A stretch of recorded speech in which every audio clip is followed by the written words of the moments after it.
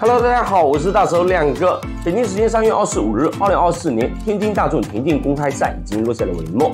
今天给大伙介绍的是男子跳高决赛的比赛，而今天给大伙介绍的主角就是代表天津队出战的张国伟。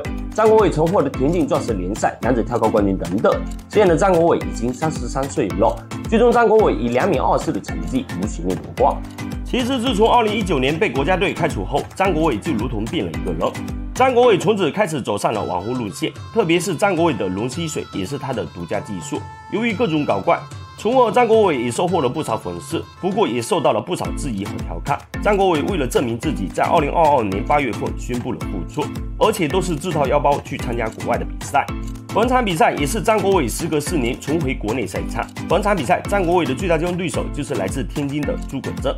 比赛的时候，张国伟的起跳高度为一米九八。前几跳，二者都是非常轻松就越过了规定高度，二者的真正交锋是来到了两米二零这个高度。只见诸葛正奋力一拼，成功越过了这个两米二零的高度，占据第一位。不过张国伟很快就爆发了，只见张国伟也是一把就成功越过了这个高度。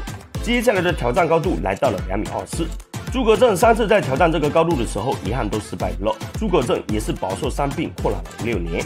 最终，诸葛正的成绩定格在了两米二零，而张国伟的表演才刚刚开始。只见张国伟爆发一把就成功越过了这个高度，逆转第一位。越过这个高度后，张国伟激动地喊出了“基能第一”。张国伟这个成绩已经追平了今年国内该项目的最好成绩。接下来，张国伟去挑战两米二几的高度，但是三次在挑战这个高度的时候都失败了。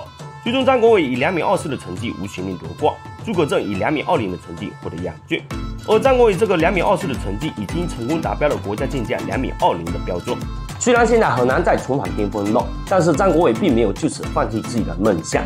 虽然在追逐梦想的过程中会遇到很多的阻碍，但是也相信一个努力坚持的人，运气也是不会差的。